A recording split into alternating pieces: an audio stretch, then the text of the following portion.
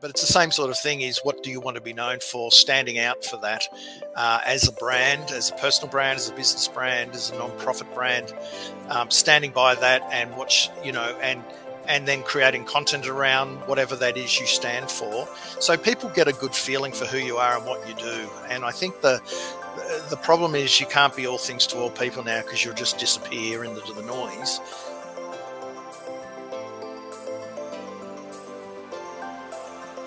Well, welcome to Power to Speak, the podcast. And I'm really honored today to have guest Trevor Young with me.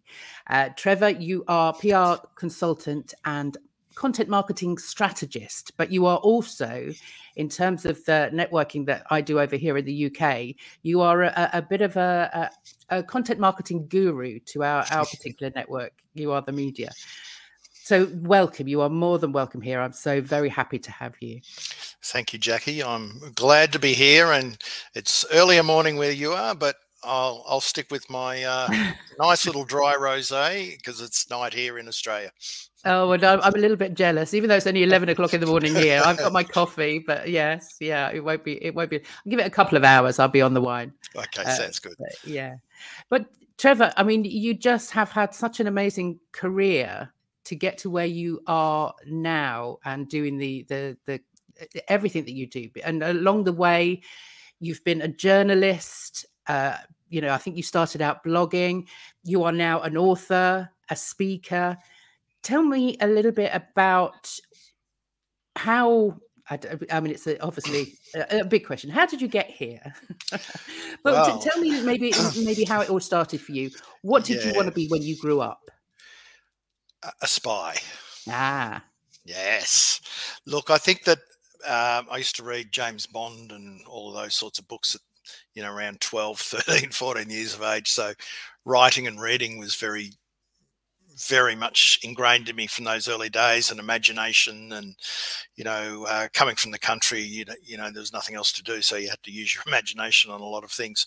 Um, and, and I think that, but writing was always the thing that's the through line doesn't matter what I've done. It's there's been a, a massive writing element to it, and I, I do recall I do remember um, taking a freelance writing course when I was about sixteen, and that was in the days when uh, a, a, correspondence course they called it, Jackie, mm, yeah.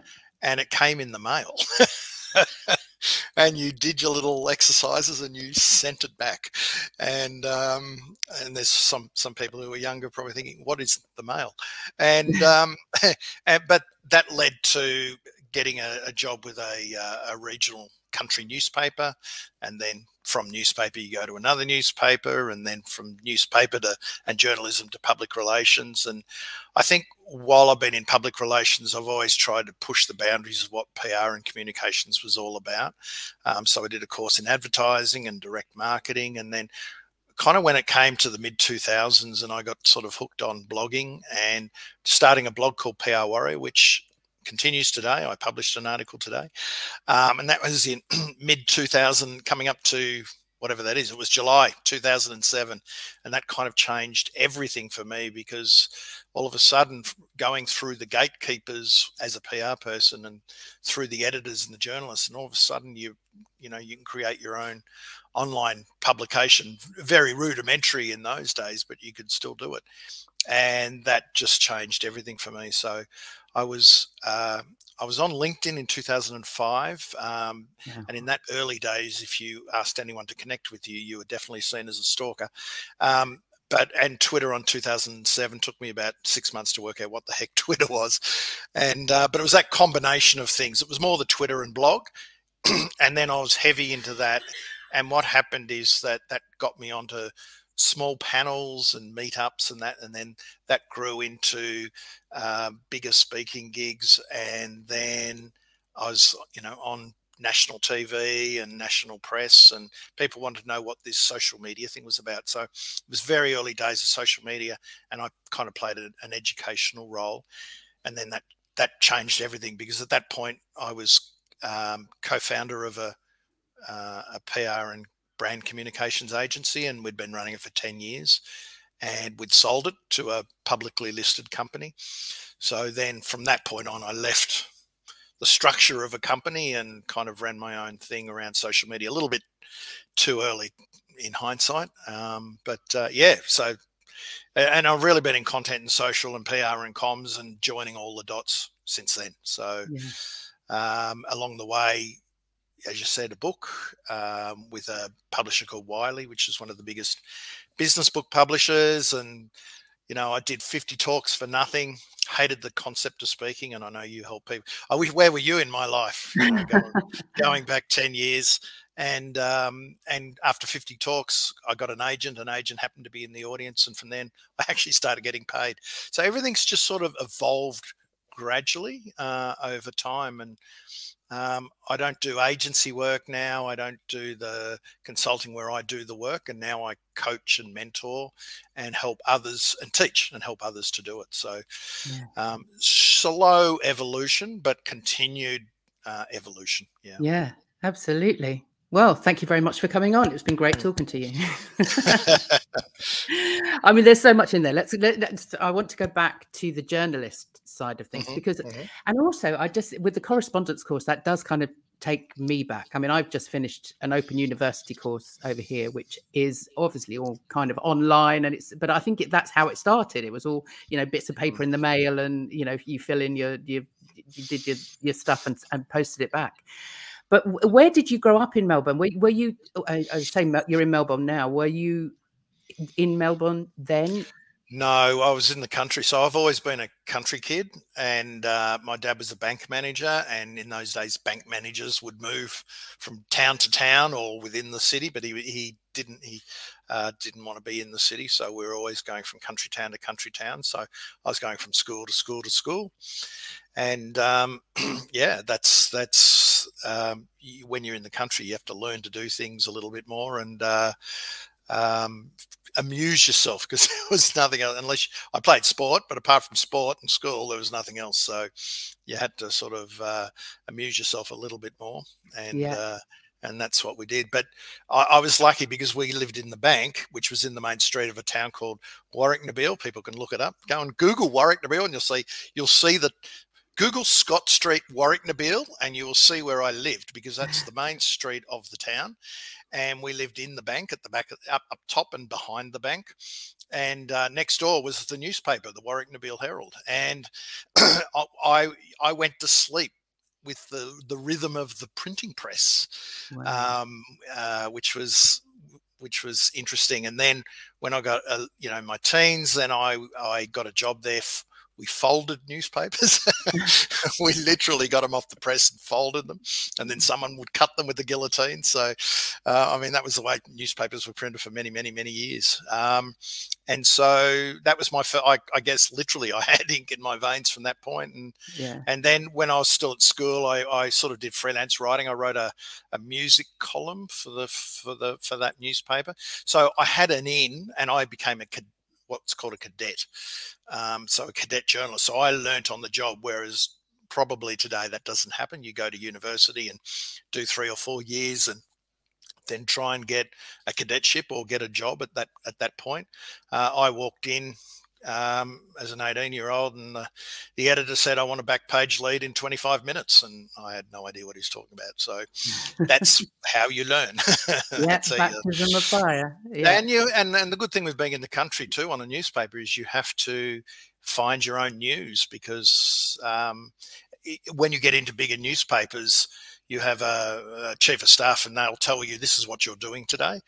Uh, but there you have to fill the paper. And, um, you know, after a year and a half or a year or so, the editor said, okay, well, I'm going on holidays. And as he's walking out the door, this, this newspaper has never not been published in X amount of mm-hmm. years. And uh, so as a 19, 20 year old, I was the editor for a few weeks and nothing gets the heart pumping like a, a, big empty page and you're on deadline to print. So yeah. deadlines, I guess that's all part of it. That's all part yeah. of uh, yeah, and, and, and, PR. Mm. Yeah, yeah, no, it's a big part of uh, of what I do too. Deadlines, yeah, have to mm. work to a deadline. I mean, I was going to ask you why you wanted to be a journalist, but you know, from from what you've said there, you've you've painted quite an evocative picture of going to sleep with the rhythm of the of the you know the machines going printing through yeah. the night. So yeah, I can imagine that is uh, ink in the veins, definitely. It it chose me, I think. Yeah, yeah. Mm.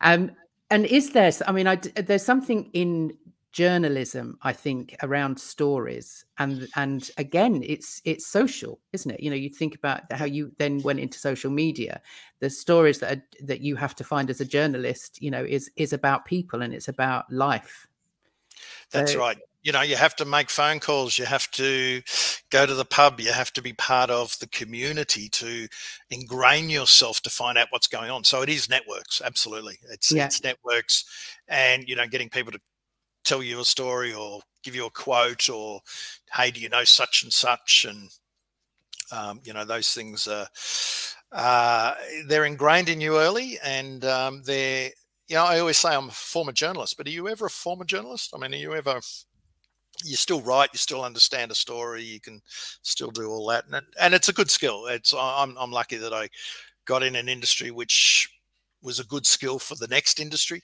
yeah, uh, and which in turn was a good skill for where I am now. Yeah, I mean, it, as you said, it is an evolution. It feels like yeah. you know it's it, it's evolved from from that sort of correspondence course into a newspaper, and then into the blogging, and then into journalism. I mean, it just is that that kind of progression. It is. I had I had once like an eighteen month, uh, like in my early twenties, an eighteen month diversion from this media field, media and comms and PR, which was into adult learning uh, and adult education. And that was still in the country and a different country town. And I just wanted to give um, uh, writing a bit or journalism a bit of a, a break and try something that came up and try something different. And it's funny now I'm going a full circle on that way because I'm about to launch a um, like a, a, an online uh, digital training uh, academy, and I'm going back to learning and teaching. And uh, so the it's not that any any of that is necessarily planned, but it just evolves. And and I'm lucky. I'm in industries where things do happen and take yeah. place, but you've got to also push yourself. I think that um, I think a good aspect of being um, a, a, writer or a and or a journalist is curiosity, and I think you feed your curiosity, and I've had that from a very young age, and so I'm still curious. I'm still curious, yeah. and that's that's what feeds evolution. I think to a large degree because you you're pushing boundaries and you're curious about something. yeah. yeah. Yeah, I mean, I always remember the uh, the the learning platform that you came along to for you are the media, and it, it was about putting your flag in the in the sand kind of thing, yep, or yep. flag in the ground. Flag so how ground, how yep. yeah, how have you done that? How how how is that kind of yeah? It's probably for me more more philosophical around communicating your brand, whether it's personal brand or business brand, and how you want to um, deal with clients and customers and um, build an audience and so the flag in the ground there is about, um, or I've actually superseded that. I still say flag in the ground. Know your colours to the mast, um, but it's the same sort of thing. Is what do you want to be known for? Standing out for that uh, as a brand, as a personal brand, as a business brand, as a non-profit brand, um, standing by that and watch, you know, and and then creating content around whatever that is you stand for so people get a good feeling for who you are and what you do and i think the the problem is you can't be all things to all people now because you'll just disappear into the noise. So if you stand for something and you know you could be quite hard edged about an issue or a way to do things or it might be you know multiple ways of thinking within the broader sphere that you operate in and together that tells your story, your narrative. So I guess in effect standing for something or flag in the ground or colors to the mast or whatever it is, it's about it's about saying, hey, this is who I am. This is what I believe in. Uh, if you like the way I go about my business and how I think about things, you might be a good fit for my business. Uh, because I get, I think too many businesses try to appeal to everyone, and you just can't do it. Yeah, it's too hard. I mean, you look at Apple. Apple one of the biggest brands in the world, there's a lot of people who hate Apple. You know, they've got a flag in the ground. They know exactly where they're going, and by going hardcore down one in in that direction, they put off everyone else who wants to go in that direction. So it can it, it works for a single person. It works for some of the biggest brands in the world. Yeah. I mean, I, I love as well that you sort of talk about the fact that we are all our own media companies. Yep Yeah, and obviously, I, as, you, yeah. as you say, with Apple, they they have kind of cornered their market, and it's like you you listen to them on on every single platform. So mm. yeah, yeah, look, I think the whole thing about being your own media company, and that again stems from 2007 and blogging, and it's still, you know, to this day, it blows me away that I can sit here, uh, you know, at a kitchen table, and I can create an online, a global online publication in, you know, within 15 minutes. I can create a, you know, a global radio show, a global TV show. Like it just still, still gives me goosebumps just thinking about the opportunities there that are afforded to us.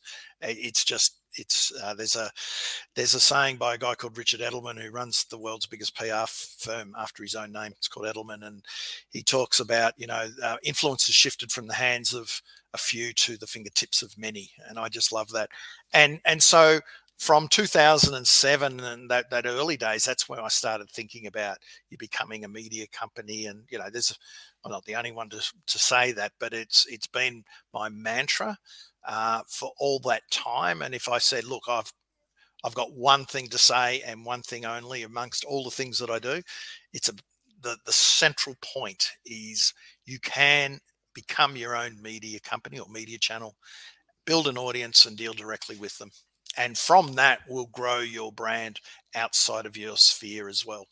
Yeah. Um, so that's probably been the central point since you know 07 08 and that yeah. doesn't change. The things around it change the technology changes the apps change um, the audience change consumer behavior changes but at the end of the day is that still getting involved creating content that's interesting and relevant for a particular audience growing an audience through social and your content and the myriad ways is still the way to uh, you know to get out. And from that by building that media brand as it were it's you know it'll help your business. It might help bring in opportunities that you didn't even know existed uh, partnership opportunities. I mean i've i've had opportunities come to me that I, I didn't know it existed and they've kind of come to me. So just by doing stuff and being involved and proactive, which Mark Masters and the crew from You Are the Media, I mean, that's what Mark does. He gets out there and does stuff. Um, things happen. Yeah. Things happen. But if you sit in a corner and don't do anything, nothing happens. Yeah, I mean, I, I, have to say, there was a as a small business owner myself, and being relatively new to the content marketing side of things, it does feel quite overwhelming. I mean, how how would you recommend people start? I mean, where where should they start? Yeah, it's it's a really good point, and I, I, really feel that because I deal with people who are starting, and um, they there is a degree of overwhelm, and part of my role is to uh, try and reduce the amount of overwhelm, but at the same time be passionate about and enthusiastic about all the opportunities. Um, Look, I, I, I, tend to take people through a, a, a, process, a planning process without trying to overcook it, but I take them through a process so step by step they start to see the picture and they they understand things before they get to the content. Because the problem with content and all the channels and all the things, it's really easy to do stuff. It really is. You can start tomorrow and you can go nuts, and I'm all for experimentation, but eventually you'll hit a brick wall and or virtual wall and you'll get overwhelmed or this is not leading into anything or whatever. So i really do advise people even step back and say well what do i want to achieve? What's my i know a lot of people don't even want to set goals you know they hate the goal setting thing. People either are goal setters or not. Um, but just have that little bit of a i call it an aspirational anchor. What's that lofty ambition that you're you're after follow that path that at least gives you some direction and then really look at your audience and and who are you trying to appeal to and what's of interest and relevance to them and because um, i think content is like a venn diagram. One side it's how you want to show up in the world and and your message and what's important to you and i think most marketers get stuck there. That's where they stay. It's all about them and the intersection of the, the, the other corresponding um, circle on the Venn diagram is what's of interest and relevance to your ideal client or the audience you're trying to attract. And your audience is not necessarily just a customer, but who influences those customers as well. And so you've got to try and find that kind of sweet spot, um, be, something that represents who you are and what you stand for, but also will appeal to to your audience. And I guess the, the key then is you can the easiest the easiest way to start, and this is without even getting into the mediums, because that's the problem. People say I've got to be on YouTube. Well, why do you have to be on YouTube? If you start asking the question why straight up, you won't actually go off and make these rash decisions until you, it'll force you to think about it. So um, the thing is, don't even worry about the modalities uh, or the mediums straight up, but think about that audience and and the type of content you want to create, and where is your audience hanging out as well. So you know you might hate video. Well, if you hate video, don't do video. You if you might be a writer and I don't want to talk, well then don't do a podcast. Um, we look at you know Mark and you other media started with a started with a, a, newsletter. Well, actually started with a blog, but the newsletter fell out of the blog. But usually, the best way is to start with something and not necessarily dominate it, but master it, and then move on. Um, and if you can, start building a, a, subs- a, subscriber email subscriber base for that content early, which is something I didn't do um, and wish I did. Um, then that's not a bad thing as well. Yeah. Do you do you recommend people um, get people in to do their writing for them? And I mean, or do we need to show up personally? I mean, it, it seems to have changed slightly in in the yeah. well, again, if you're looking at writing, and and and and this is where it does get interesting. Uh, why I mean, you stay on, stay on something, but I, I think the thing the, the secret, not even it's not even secret, but the, the big thing today is about repurposing the content. So you might, you know, if you're going to do all the effort to create a really good long form, you know, article, a nice piece, and it's a really strong idea, but then you can, you know, you can turn that into a a podcast and you can film that at the same time and you can crack it open and turn it into micro video and put it all over the socials. Uh, but that's getting a little bit more advanced and a little bit more sophisticated in your content repurposing. But uh, you know, I, I'm a big believer in in the written word, regardless of whether you do video or podcasting, because it'll come back onto a blog anyway. Now, if you do do a podcast, then you can, of course, you can um, transcribe it and ditto with the video. Well, with the video, people are going to watch it, but uh, if it's on a website, they'll probably watch it. Whereas people don't really listen too much on a website. But I, I still like the written word there because you know there might be some SEO juice, but it's this body of work that you've built that people can go and check out. And people take content in different consume content in different ways. We've got to be aware of that. Um, they some like to write, some like to watch video. Unfortunately, some like to listen. So we're we're lumbered with that. If you want to get a broader reach, but I mean, with words, the the key is to have the idea and the power of the story. And if you're not a good writer, there's two ways to go about it. One is you just put it out in bullet points and headings, and that's about it. As long as you've got the general gist of what a the narrative is of the story and the hook, and this is what I want to write about, and this is the advice I'm going to give, or um, the statement I'm going to make through it, and then get an editor like I call it a sub editor. Um, others call it a proofreader. Um, I know Americans tend to call them proofreaders. It's really, um, I call just think of an editor and someone who has sub edited on a newspaper before. And on newspapers, you have the writers and you have the sub editors. The journalists aren't necessarily great writers. The sub editors are the gold. They're the ones that make them good, make them sound good. They take their work, they yeah. fact check it, they sharpen it up, they cull words, they put the heading on, and they they add a you know a coat of paint to it. So the journalist often is only you know putting the undercoat on, and the the, the sub editor will put the the other on. So I work not for my stuff, but with my clients. I put all my clients' work through a sub editor and someone who's been on all the big newspapers here in Melbourne, uh, who's English and lives here now, and um, he just tightens it up and improves it and so I think that that's a good good way because also if people are perfectionists, they'll never finish, they'll never get yeah. it done, and it's a real limiting belief and a roadblock. And so I think a good way to do it is this. And I'll tell you even a better. I hate to use the word hack. If you can tell me another word to use, another uh, way to improve this system is I've got a lot of clients. Most people will tell you if they're busy, I'm busy, I'm busy, I can't, I haven't got time to write it. And, you know, they might not be good writers and it might take them a significant amount of time to write something of note with a bit of meat in it.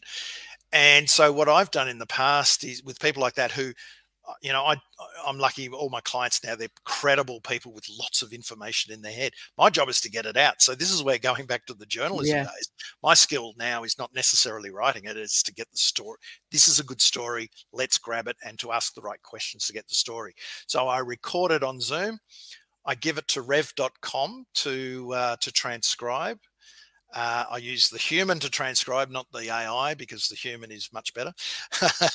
and that way I don't have to touch it and then I I uh, ping it to the editor, and he writes the story from there because he's a journalist. So if you look at the the client in that regard, I spoke to him for 40 minutes and had three really top line articles out of him um, just by asking him questions, and that was his own work. It was yeah. his the spirit, his ideas, his heart, his spirit was in that article. Um, so it wasn't ghosted. You know, you get people who ghost write and they didn't even have anything to do with it. Um, that's not. I'm not a believer in that. But that's a really good way, that uh, cost-effective way to get really good information out there in a professional way.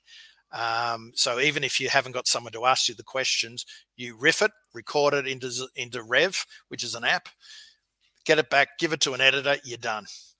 It's a, it's a terrific way to do it, I think. Um, and uh, and that's a good starting point for someone who doesn't want to write, who doesn't want to get yeah, caught yeah. up in the whole writing thing. Yeah, no, I I enjoy writing, but it does take me forever because uh, you know, as you say, as a perfectionist, it's never quite right. Um, but the thought of handing it over to anybody else is like you know handing over a baby, isn't it? Well, yeah, it it, it is hard. Um, but again, what's the goal? To get it out, or yeah, so yeah. there's so many options, so many ways to go, and I think the issue people face now, I, you may have used the word earlier, but overwhelm. Well, you did use the word overwhelm, yeah. and it's what content to write, where to write it, how to write it. Is it writing? Is it is it web? Is it what is it? all of that. What's the frequency? Um, and then once we do it, how do we get it out there? Because it's about you know now twenty percent of creating the content, and eighty percent of distribution. So there's all of those things, and then go, what tools do we use? Which way do we go? How do we do this? Like it's it's hard. Yeah. And and and I mean I've internalized it because I've been going through it. But so what I try to do and what I'll try to do in my courses and that coming, you know, that are coming down the pipe will be to simplify it as much as possible.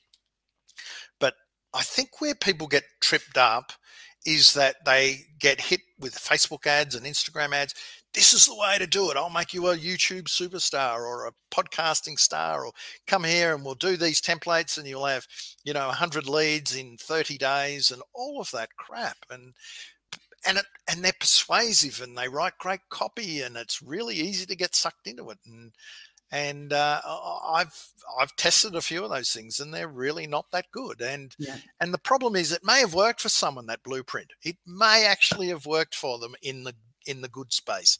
Um, others, they're probably a bit dodgy. It may have worked for them, but that doesn't mean it's going to work for you or me or anyone else. And so my key thing is um, my message these days is you I, I want to give people the tools and the ideas and the confidence to plot their own path. So there's kind of some rules, but look, if we meander off, that's fine we got to find your own path what's going to work for you your brand and your goals because you are unique. And to just follow someone else's uh, blueprint blindly you know good luck. If it works you might get lucky but that doesn't mean you don't go deep into youtube or anything like that. What it means is you think strategically you understand the lay of the land you get confident and then oh okay, I'm going to go into live streaming. That makes sense for all of these reasons. Tick, tick, tick. You've thought about it. Then you go deep into, I'm not going to teach you live streaming. I'll teach you 10% of live streaming. Um, and then if you want to go deeper, you can. Yeah. Hmm. Yeah, I mean it's it's it's it's kind of a minefield, and I just wonder um, that sort of first step is it is it about sort of, is it about getting in your head who that audience is? I mean, I I, I hate that word avatar but you know, certainly from what I do when I'm working with people around uh, a presentation or a talk, for me, it's always telling that client it's not about you, it's about them. So it, it, it there is something in finding out what it is that your audience are going to take from what you can give them. You know what what is it so is that a, is that a good place to start?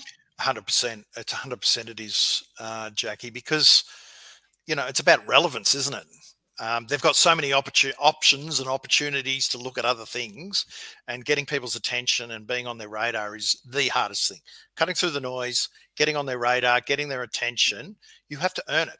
You can't buy it you have to earn it. You can bludgeon them with ads but good luck with that it'll be expensive. You've still got to earn it somewhere along the line for sustainability's sake. Um, and so the only way to do that is really to understand them. Now, in the the pure tradi- I'll say traditional content marketing space, um, it it really is around pain points and challenges and issues that people are facing. And I think that's always a really good place to start because most people, if they're in business and they're in a smaller business, they understand their client or their customer really, really well because they're on the ground. They're they're close to them. And, you know, I get people to say, well, what are the top 10, 20, five, doesn't matter, um, challenges, issues, pain points, um, niggling question, you know, niggling questions they've always got that they've never really got answers to. And if you can just create content around those things, those six things, 10 things, whatever they are, doesn't matter, video or whatever, doesn't matter. Um, then that's a start. You're off and running. You're already doing what most of your competitors aren't doing already. That's a win. That's a win. And so I call that utility based content. And this is where the PR hat now comes on because then, okay, well, how do you differentiate your brand? So a lot of experts get focus on that utility, the how to do this, how to do that, lists, all of that sort of stuff. And it's good because no one ever went wrong being useful and helpful unfortunately now that space is getting really crowded and to be seen as an expert in your space it's just getting a little bit harder to differentiate because there's a lot of experts out there doesn't mean it can't be done but it just means that it's it's harder today than what it was five or six years ago um, there's an opportunity then to do what i call leadership content and this is about Oh, you think or thought leadership content. This is about trying to move people with your ideas or change the way they think about a topic or an issue. And that hurts.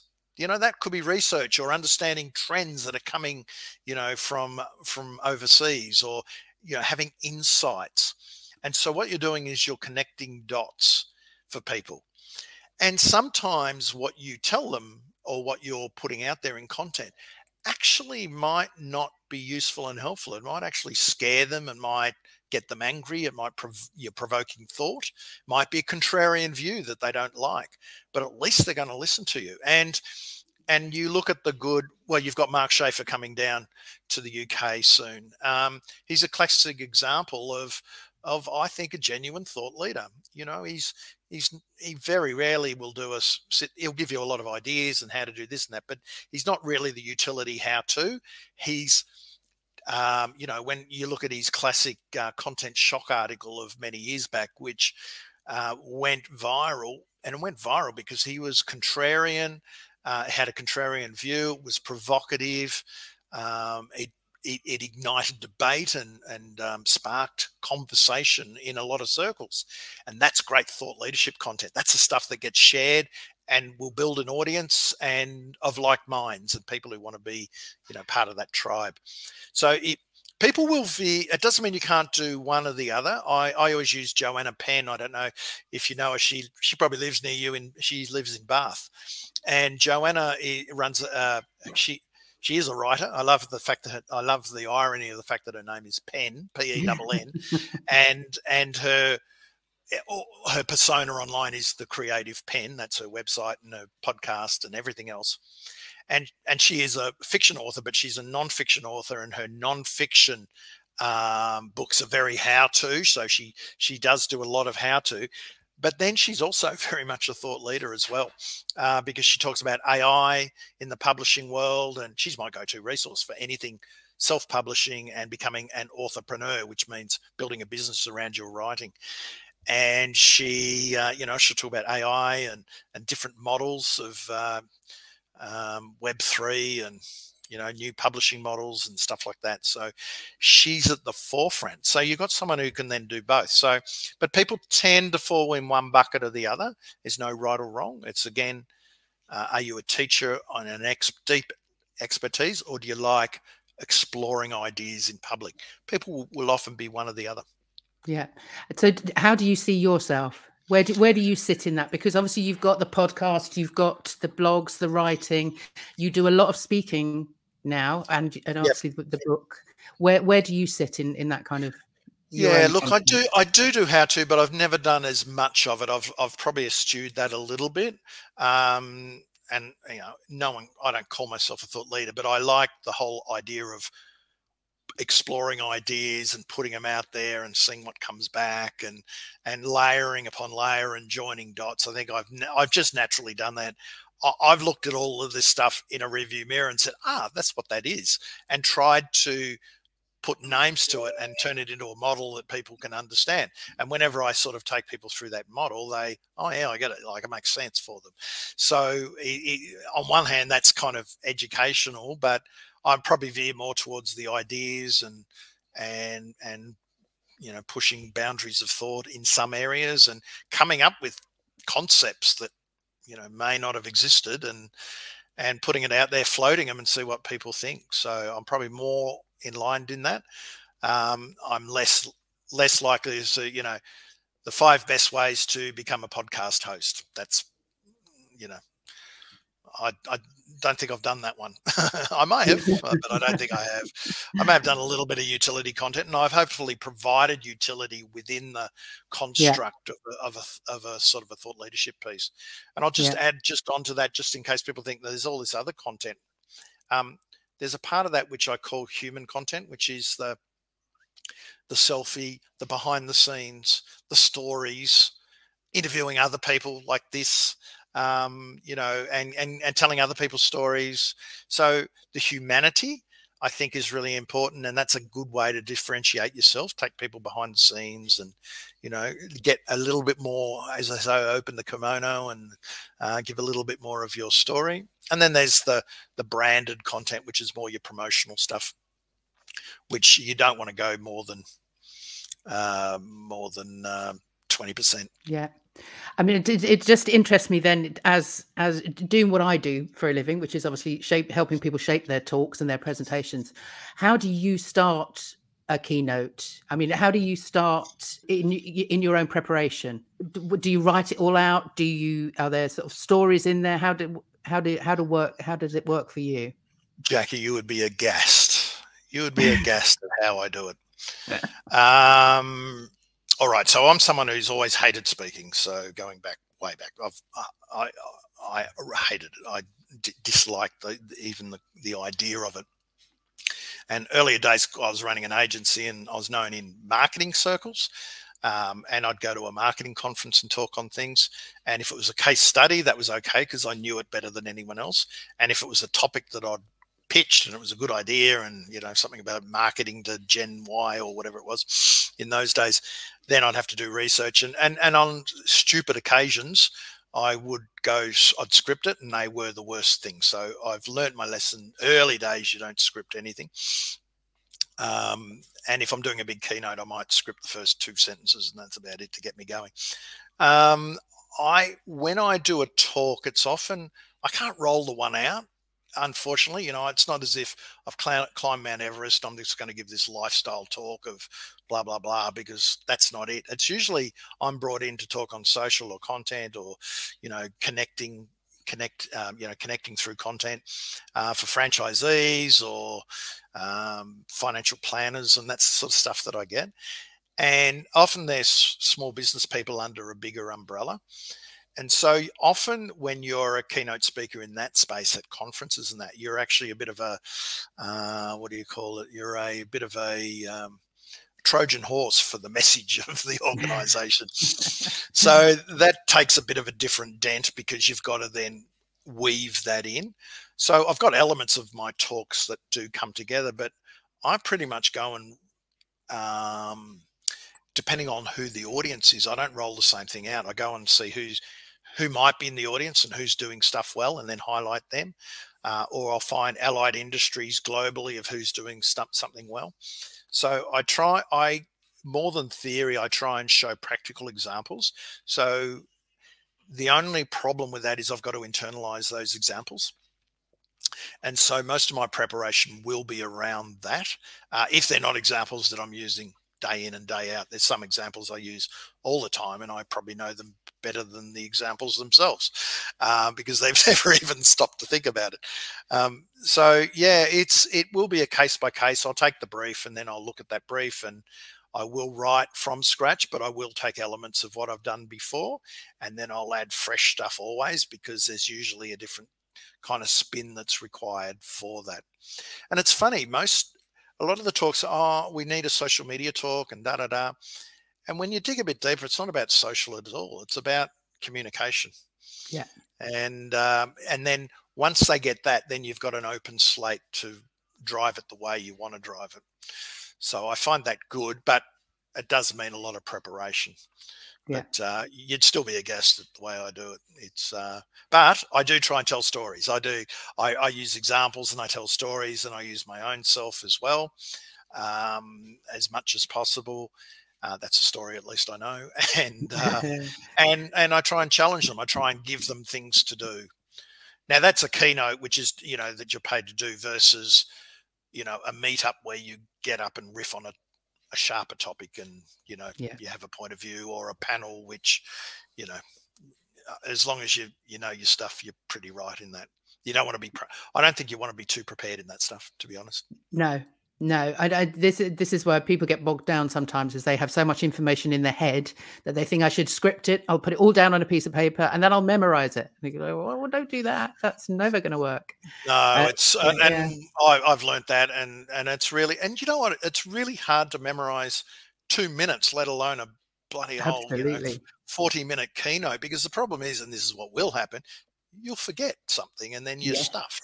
Yeah. That's yeah. terrible. It's terrible. So I did that once and I it was it was just a stupid decision. But um I think what's really good though is if you have that you've found your lane and your point of view and you've evolved your story and your message over time and you might even create your own lexicon over time but you'll create your own stories you'll see things in blocks and buckets and you'll tell that story so often anyway over a period of time that it will become de rigueur. Is that the word? Yeah. De rigueur, um, without an accent. And and you'll you'll know it. It'll just roll.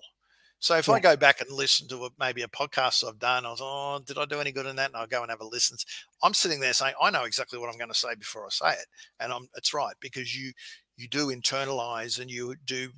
The more you do it, the more you will have these hooks and flavors and angles and and and and ideas and stories that come out but you've got to you've got it's a muscle isn't it you've got to work that time yeah. and time again mm. it is and that's you know that's that's a great reason for using your own stories which a lot of people are reluctant to do sometimes but you know your own stories you know you you've lived them so you're never going to forget those so, and you can embellish. You can embellish. Yeah. No really yes. yeah. I mean, I do. I do get my. I catch myself repeating the same stories, and that always kind of feels like, oh no, I shouldn't say that again. But actually, you know, there's there's nothing wrong with that. I don't know how you feel about that. Sort of... No, and I think it's the same with a, a message or a story or a narrative. That's the spirit of it. It's not rote. It's yeah. not by rote. And you could tell the same story three or four times and it'll be different potentially every time, the outcome will be the same, but the way you tell it will be compelling. And the more you tell it, the better you know it, the more you can give it a yeah. bit of energy and flavor. Um, so I, I'm okay. I'm okay with that. And it's it's funny. There's a thing in PR and comms that you know if you're if you're so sick of something, saying something, it might just be getting through. yes. And we we you know and I've been guilty of, oh, I can't write this story again or rewrite it in another way or take another spin on it or whatever, or use this case study. I've done it to death. You actually haven't. you know, most people never saw it the first time around anyway. Yeah. So, and, and those that did, it's a good reinforcement for them. So it's a, it's been a really good lesson to learn that. Um, and that's now one I impart on my clients because, you know, people need repetition to even even take note of what it is you've got to say. I yeah. know shock horror. People don't listen to what you've got to say. They don't read your stuff. You, they need repetition of message like seven or eight, nine times before it'll even sink in and they'll trust it. So yeah, uh, it's a real, it's a really good thing to get our heads around. And I could, I also will, will just say this bit. If you've written a book and, and all the, all the publishing guns will tell you, if you've written a book, be prepared to talk about it ad nauseum for at least 12 to 18 months. And yeah. when you've written it, you are so heartily sick of it. and that's probably when you're ready. It's ready anyway, by the time you're really sick yes. of it. But then you've got to talk about it for another 18 months. Yeah.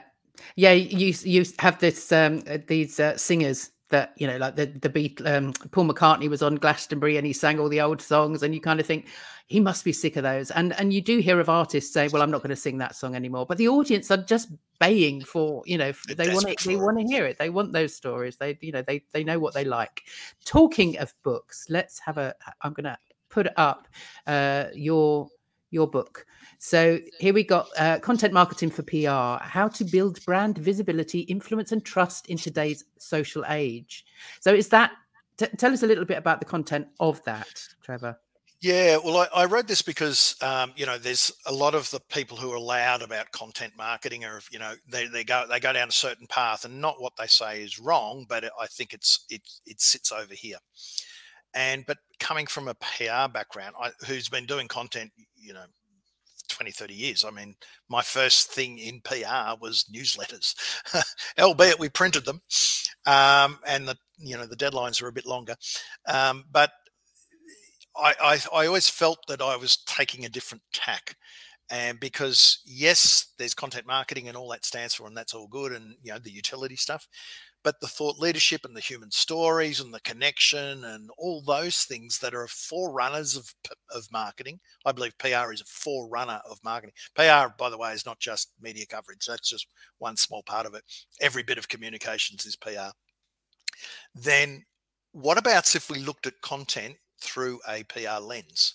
And so this, the book's all about that. Um, you know, building trust and visibility and cutting through and and you know growing your sphere of influence over a period of time. Um, and so the first part of the book is all about setting the scene and the second part's more about you know going through all the elements of blogging and podcasting and and how uh, owned media which is your blog your podcast your youtube channel can lead to earned media which is the media relations side of things the editorial coverage um, you know getting onto other people's podcasts, etc. That's a, yeah. I call that earned media, and that's probably been PR's remit. And so, what you're creating from an owned media perspective needs to flow to be consistent into an earned media, and that's when you're getting double bang. And then you chuck mm-hmm. social media over here, and you've got the three R kinds of media working together in a consistent fashion, which gives you a greater leverage. Yeah. Um, and and in in making this book, did you did you have some anxiety over the typo- typography? I know, I know you. I know you're a bit of a typography geek. Yes, I love. I love. Terms. I love my fonts. I love. Uh, I love my fonts. Um, there's a there's a website called Creative Market where you can go in and buy so many things, but you can buy fonts, and I can lose myself for hours uh, looking through hundreds of fonts, and I end up buying fonts that I never use, but I've got them there for one day. Um, I had a. It's amazing. I, I did.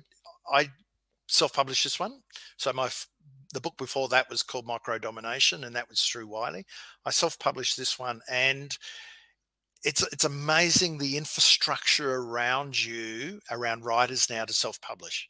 Like it's scary how sophisticated it is from people uh, being able to design the covers for the and these are people who design covers for the best in the world at big mm. publishers they're now all freelance um, there's you know editors um, who same deal. They've they've they've got all the they've got the chops. They've got the the, the track record with um, with major publishers. You can pick one that will suit you. If you go through a publisher, you have to pick that. You have to use their cover designer. You have to use their editor. But when you when you do it yourself, you can um, cherry pick. There's a there's a um, an online marketplace called Reedsy, R E E D S Y, and they have vetted um, suppliers for all of the aspects of publishing your book.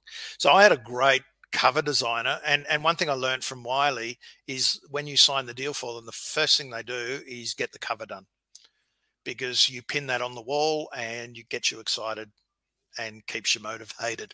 So when I decided to go with content marketing for PR and I decided on the name and the blurb and everything, which kind of sets the direction for the book, um, then I went and got the cover done straight away. So uh, mm. a designer from London, and she was great. And she gave me a lot of great ideas. Funnily enough, um, she had so many, too many ideas actually, and and I got it down to two, and I put the covers side by side and put it up on a, a post on LinkedIn. I said, look, I like both of these for various reasons. I'm erring on one side, which I won't tell you about, but what do you guys think? And I got 70,000 wow. views of that. It went off the charts. And of course, everyone has a say. And yeah. it was almost 50 50 on them. I can imagine with that amount of people, it's going to be.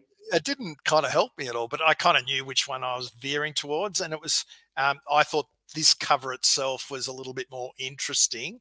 Uh, the other one was a little bit more obvious, and funnily enough, the obvious one would have stood out better on, you know, on Amazon and on a phone.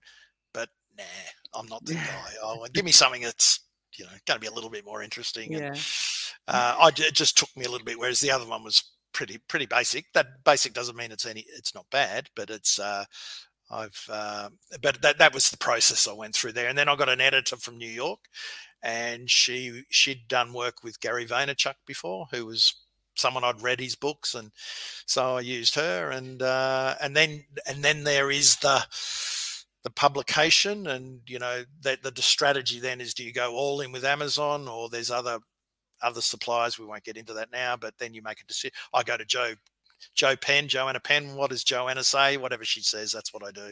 Yeah. And that's what I did. And um, and then about a, a, year later, I did the um, the audio.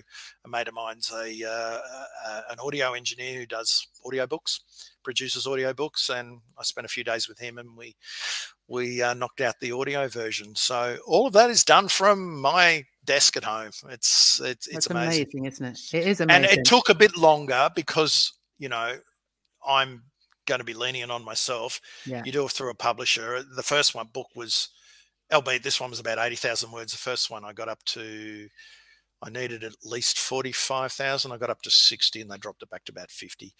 Um, and I had three months to write that. And even two weeks in, I still didn't know what I was going to write. I'd sold them on the concept. I still didn't know what I was going to write. Oh, so that, that, that there's a lot of pressure around that. But the pressure was actually not in the writing. The pressure was in the editing, and I wasn't appreciative of the editing stage and I did it pretty quickly over a two to three week period. And the thing is with edits, we're not talking about grammar or anything. They're talking about we'll rip that part out we'll add new things in there. And when you go back to it, you're actually almost rewriting it in your own head. Well, I've i have seen these mistakes now. I'm going to redo it and uh, perfectionism. And and what happens then is that they'll say, look, if you don't get this, they give it to you in batches. If you don't give me this batch by Friday, there is no book. because I won't reach my deadline and you certainly won't reach yours. So, um, had I probably known that, I probably would have cribbed a couple of extra weeks on the writing. Um, so the pressure was right up at the end. Yeah, it was. Yeah. It wasn't fun. Mm. Well, you know, I, I wonder what point you have to get to. I've just done an ebook, which is, I say an ebook, and that's not what I mean at all. It's kind of a, a resource. So it's only like two and a half thousand words, so tiny. Um, but then you kind of go, well, I've done that. How at, the, at what point do you go? Well, I have enough information now to write a book. that's a good question. Um, that's where the, the idea's got to be big enough and there's a lot of dots to join, I guess. Um, I mean, if it's a how to book and you know your topic and you're going to go deep into the how to, and preferably it's a how to book that is reasonably evergreen, otherwise you're going to be bloody changing it left, right, and center. Maybe that's a good strategy. Oh, we got the updated one and the updated and the updated. But I, I think the book kind of almost it doesn't write itself because that sounds trite.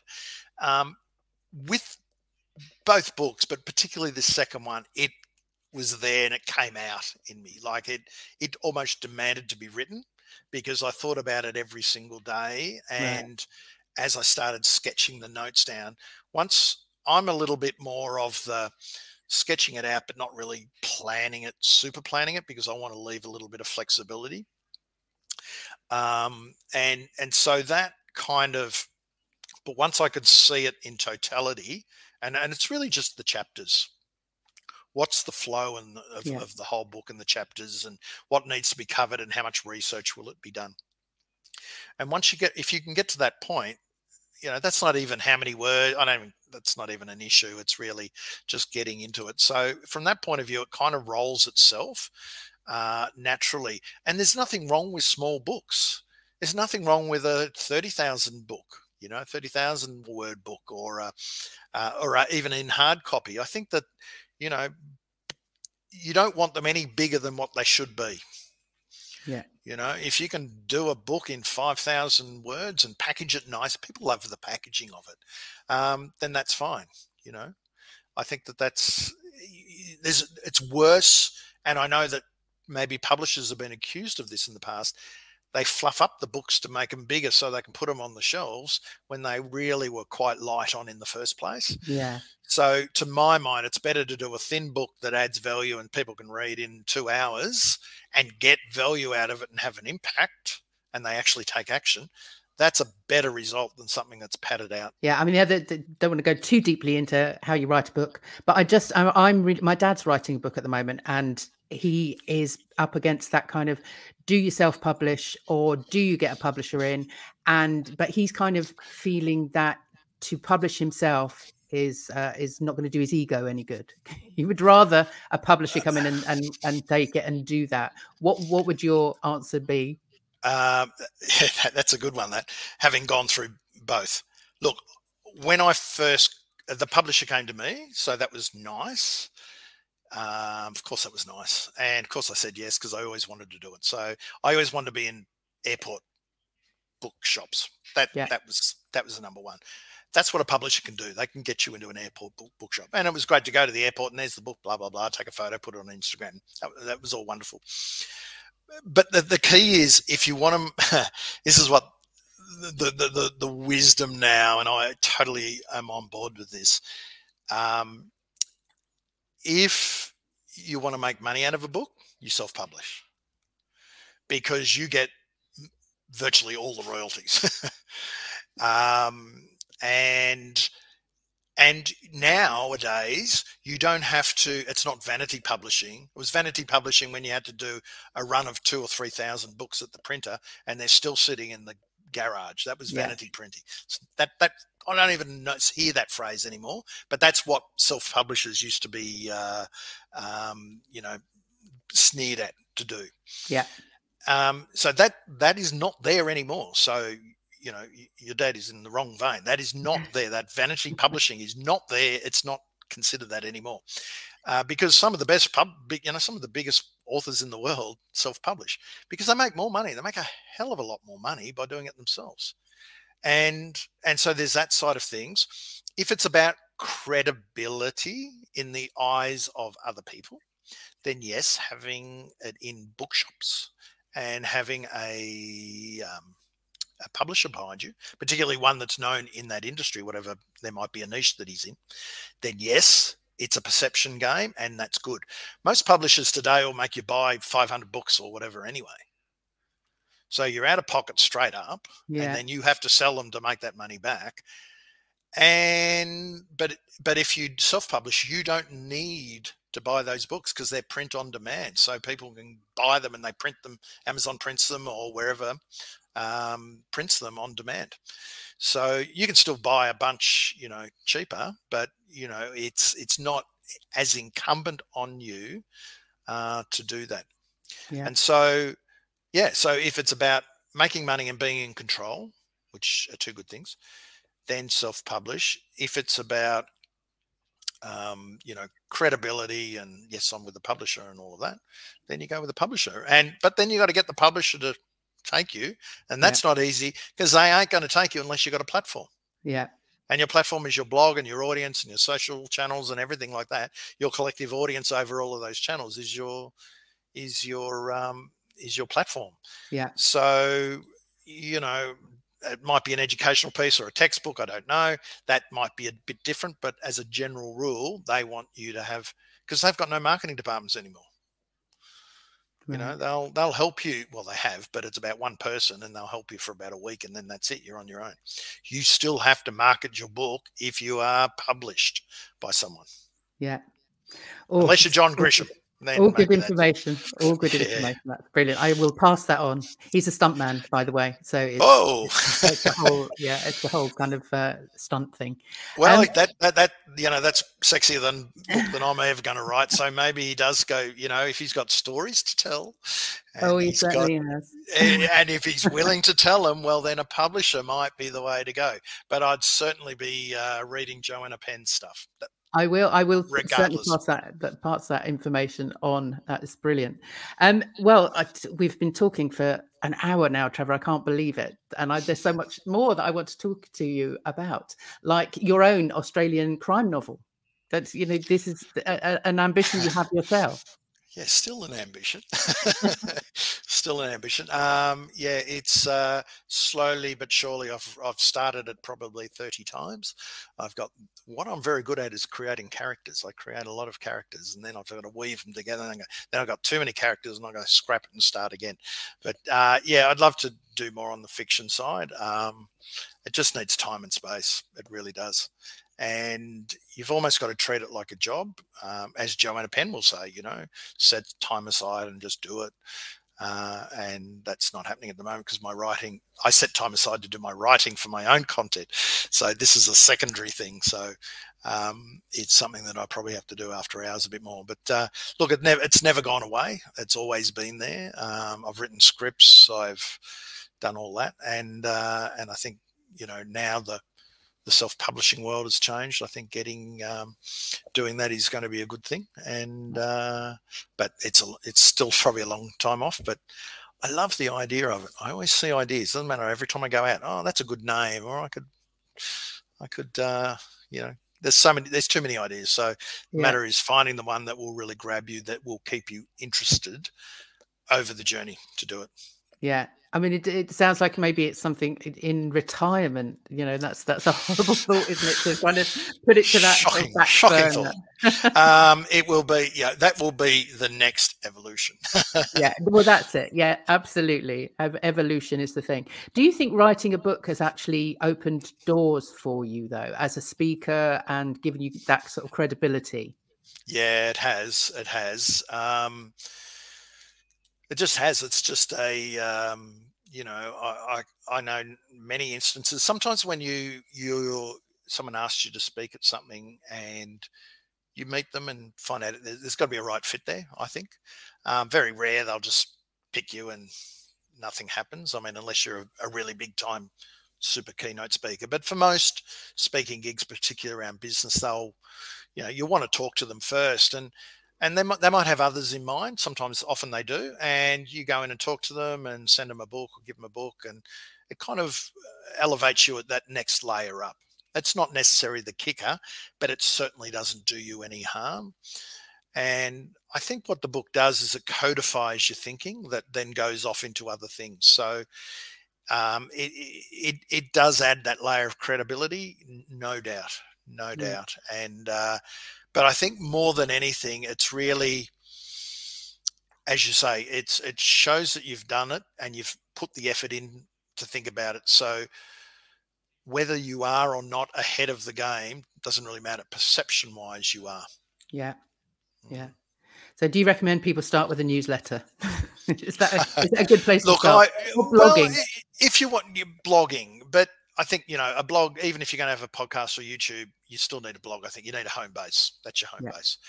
Um, I think the whole notion around newsletter, it's a really great. If you can build an a, an audience via an opt-in newsletter, um, or a subscriber through podcasting, or whatever. At least that's kind of you, but you don't know who those subscribers are. At least with the newsletter, you know who they are, and you can, you know, you can build a relationship with people uh, because it's still quite sacred the inbox.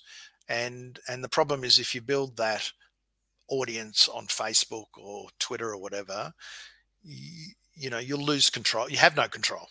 You have no control. And as as we know with Facebook, they'll strangle the organic reach and then you're in a power of hurt. So I like the idea of an opt-in email, whether it's a newsletter or not, whether you call it a newsletter or not. But we see from Mark and you are the media, it's a very effective tool, but you've got to show up. You've got to show up regularly for it to really, really work. Yeah. So I like I like the idea, um, but it's got to be like everything. It's got to be sharp. Um, it's got to stand for something. It can't be just a, a lot of generality. Yeah. And yours is called Reputation Revolution, uh, which is yeah. the same as the podcast. So yeah, it's that's right. So that, that, the whole thing is around. It's it's kind of like the professional personal branding show.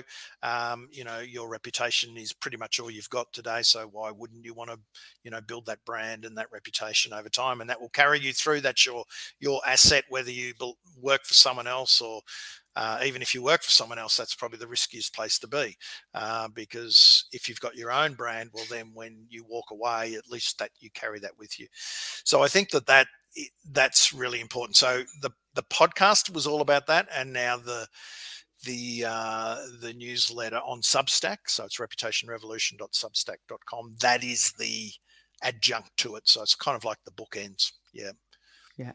Oh, brilliant! Oh, it's been fantastic talking to you today, Trevor. And we haven't even covered covered neighbours. I've got I've got a list of things up here that I, publicity team for neighbours gone very very quickly because I I actually remember watching the first episode of Neighbours many many years ago, and now it's now it's ended.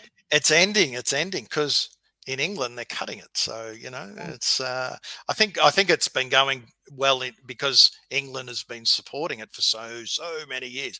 But yeah, I was uh, I worked for a TV network in the uh, in the early days of Neighbours, and I was there on. I think my first week there was kind of Kylie's wedding, so that'll give you a ah. bit of a flavour for when I was there. So it was um, I was you know it was this the signature program for the for the network and and all hands on deck around neighbours but i had my other shows as well but i did do a 12 month stint in in, in uh, tv publicity and hung with the stars but uh, all good came yeah. from, came at that from a, a, journalism background so it was a lot of fun so the publicity for that that you were doing was that was that written stuff or was it yeah, it was all publicity for press, really. Press and radio interviews mainly. Um, hard to get TV interviews from other TV stations. Um, it was mainly press stories. Yeah. yeah. whether it was interviews in magaz- magazines and newspapers was the key. Yeah. Um, and and um, yeah, the on the individuals or the characters and what's coming up and all that sort yeah. of stuff. And I, I was just one of the of the team. There were people who are pretty much on it full time. Yeah. Oh well, rest in peace, neighbours. Indeed, yeah. indeed. Not that, not that, I've watched it probably for, for quite a while, but yeah, I think miss it. Uh, well, thank you so much for your time today. Where can people find you? I've got a couple of uh, of of uh, links here, but I don't know whether this is. I this reckon is your yeah. Tre- TrevorYoung.me is my website. Um, probably the easiest one for people to remember is trevor.world. if you punch trevor.world in up, it comes with uh, all the links. Uh, and now this is the this one is your podcast, so that's Reputation Revolution podcast. Yep, yep. If you go reputationrevolution.co will be the podcast. Yeah. And then, oh, That's the podcast again. Sorry, let's hide one quickly. For those of you that are just listening, then you won't have seen that mistake. Yeah. Tre- Trevor.world will get you everywhere. Excellent. Excellent. I will enjoy the rest of your evening. Thank you. Uh, Thank you. you. Thanks very much for your time. Yeah, no, it's been, it's been great talking to you, and hopefully I'll see you on a you are the media screen very soon. Hopefully, you never know. You never yeah, know. no plans. no plans to visit the seaside, Mark Schaefer style. Oh, look, I was. I was pinned down there for 2020.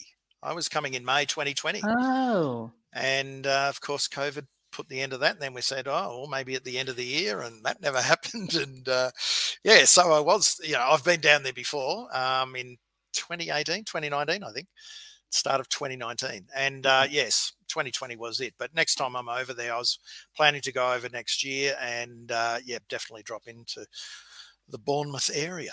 Brilliant. Well, I might get to meet you in person. Absolutely. But uh, until then, have fun and uh, yeah, enjoy the rest of your evening. Thank you very much.